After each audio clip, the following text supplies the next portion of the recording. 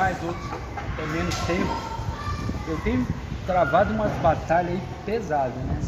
É batalha de. O cara é financeira, quem dera que fosse. É sentimental, adoraria se fosse. É uma batalha de saúde mesmo. E a gente está de pé. E a gente quando recebe essa homenagem, eu tenho muita coisa para falar sobre a minha vida nesses últimos anos. E a alegria de ser jogador de futebol, a gente fica. se emociona quando vê pessoas que se gostam, se tratam e se respeitam. É o caso desse grupo. Ninguém é melhor do que ninguém.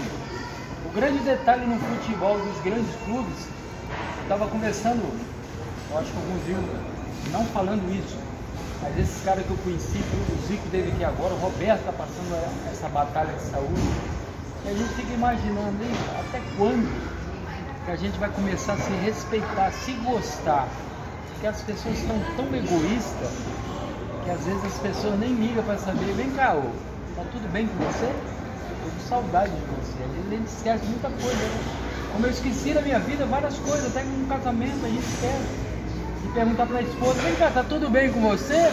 Você quer saber se a comida tá boa, se tá pronta ou não. Mas será que um dia você parou? Tô falando eu.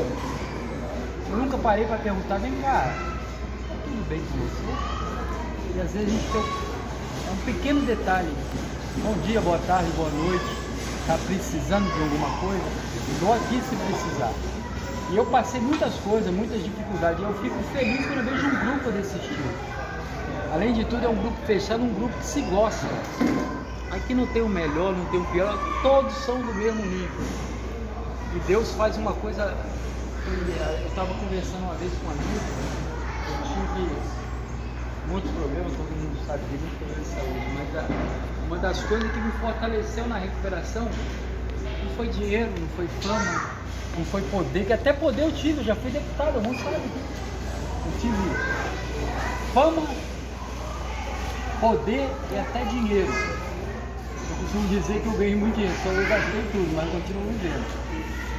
Então, gente, não adianta nada se você tiver tudo isso, fama, dinheiro, poder, e não tiver amigos, não tiver família fortalecida. O que fortalece a vida do ser humano se chama família e amigos.